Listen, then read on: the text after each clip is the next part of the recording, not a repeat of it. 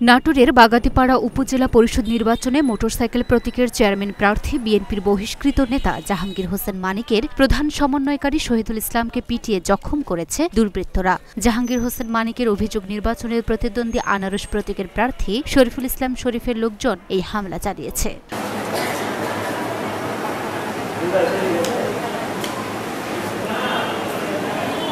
রোববার দিবাগত রাত আড়াইটার দিকে উপজেলার ফাগুয়ারদিয়ার ইউনিয়নের সাতশৈল এলাকায় এই হামলার ঘটনা ঘটে। এই ঘটনায় শহীদুলের বাবা বেলাল হোসেন বাদী হয়ে পনেরো জনের নাম উল্লেখ করে বাগাতিপাড়া মডেল থানায় মামলা দায়ের করেছেন। মামলার এক আসামিকে গ্রেপ্তারের কথা ঢাকা পোস্টকে জানিয়েছেন পুলিশ সুপার তারিকুল ইসলাম।